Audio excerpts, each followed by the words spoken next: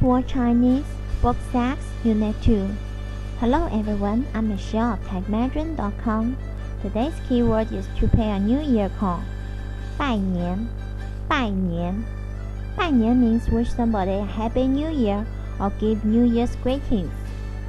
On the morning of the Chinese New Year's Day, people get up very early and set off firecrackers according to a fairy tale for driving a demon named Nian away. The earlier one does so, the more sincere he is. Moreover, people wear new clothes and a new cap, symbolizing that a new year has begun. Chinese first pay a new year call to the people in their own family. The younger generation should call on their elders first, such as the grandfather, grandmother, father, and mother, wishing them good health and long life. And ever since the Ming Dynasty in the 14th century, ordinary people have begun to exchange greeting cards. Nowadays, people also use telephones or send messages to pay New Year calls. When it comes to Bai Nian, we often think of Chunjie, the Spring Festival which also known as the Lunar New Year, the greatest traditional festival in China. Before the Spring Festival, people clean their house, put red couplets on their gates. On the eve of the Spring Festival, a get-together banquet is a must, and the most popular food is dumpling, which is supposed to bring good fortune. In recent years, Watching the CCTV New Year's Gala has become an annual entertainment for the Chinese both at home and abroad. According to custom, each family will stay up to see the New Year in.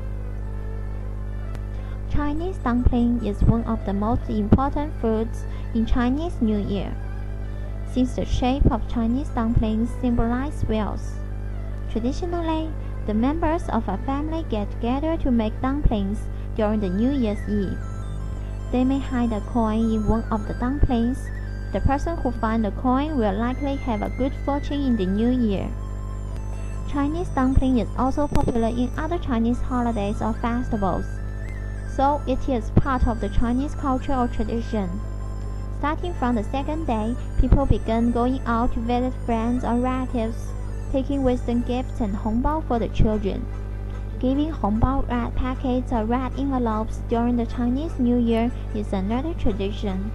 A red packet is simply a red envelope with gift money in it, which symbolizes luck and wealth, and money given in this way may not be refused. The money is also called Ya Sui Qian, meaning money for surprising age, which is supposed to stop children from getting older. This comes from the belief that everyone becomes one year older on the New Year's Day. When you visit your relatives and friends, you can see such blessings as 心想事成.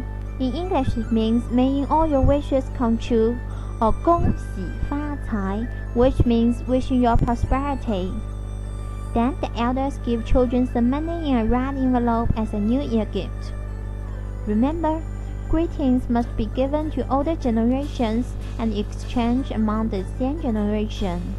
Okay, let's review today's word to pay a New Year call. 拜年,拜年